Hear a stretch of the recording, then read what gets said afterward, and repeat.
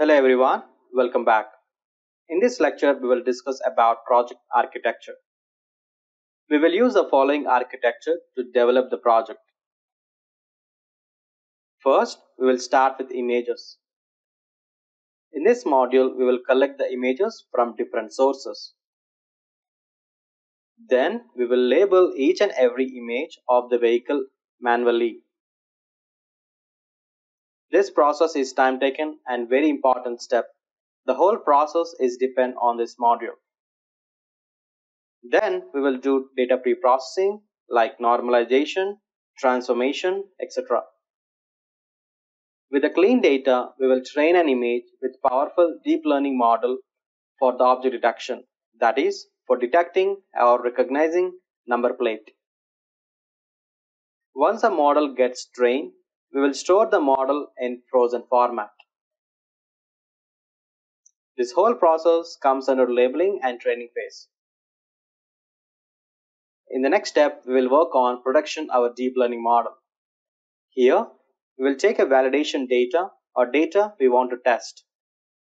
We will apply the same data pre-processing technique that was applied to the data while in the training phase.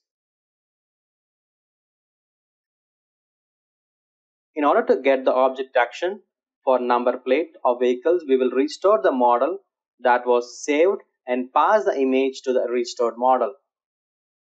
Now this model will return the object action or position of number plate which is also known as region of interest ROI. With this we complete the module 2 of the project and get the number plate from the image. Now we will start working on module 3. In module 3, we will send the region of interest image to OCR, aka Optical Character Recognition, and return the text from the image. Here, we are using the Google Tesseract to do that, which is absolutely free. Now, finally, we will pipeline the entire model, which is our end of the module 3.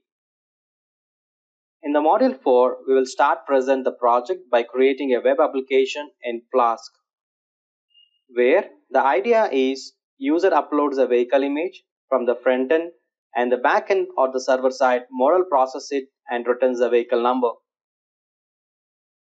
With this, your project is ready. So this is the architecture we are going to follow to build the entire project.